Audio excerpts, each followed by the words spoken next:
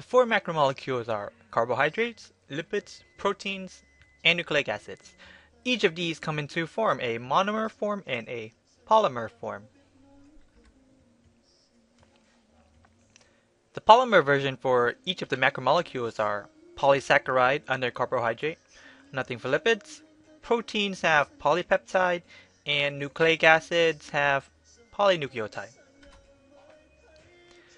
Carbohydrates monomer are called monosaccharide. Mono means one and saccharide means sugar. So a monosaccharide is a one sugar. Put a bunch of these together, you get a polysaccharide, a many sugar. This video will focus on carbohydrate polymer polysaccharide.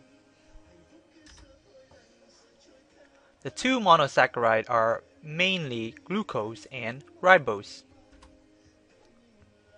The four polysaccharide are starch, glycogen, cellulose, and chitin, sometimes pronounced kitten.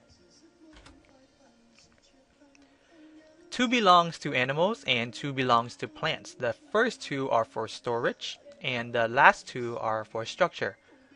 Let's start with starch and glycogen. Starch is sugar found in plants. Glycogen is sugar found in animal. When plants get hungry, they break down the starch for energy. When we get hungry, we break down glycogen for energy. Both are alpha linked, they are digestible. Here, let's take a look. Let's compare. The top is alpha linkage and the bottom is beta linkage. The O link in between the alpha are all pointed down. The O link in beta fluctuate. Therefore, alpha is digestible, so starch and glycogen can be broken down, while cellulose and chitin cannot. Cellulose are structure polysaccharide in plants, and chitin are structure polysaccharide in animals. Both of these are beta linkage, meaning they cannot be digested. All plants have cellulose, commonly found in plant cell wall. Chitin is similar to the hard shell found in arthropods like this crab. Now you know why they are not digestible.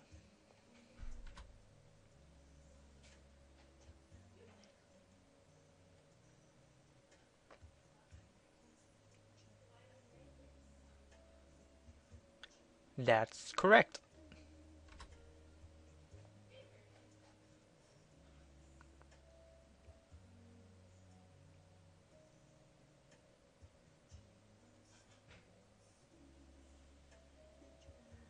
Not so fast. Nice try. Eating vegetable have other purposes.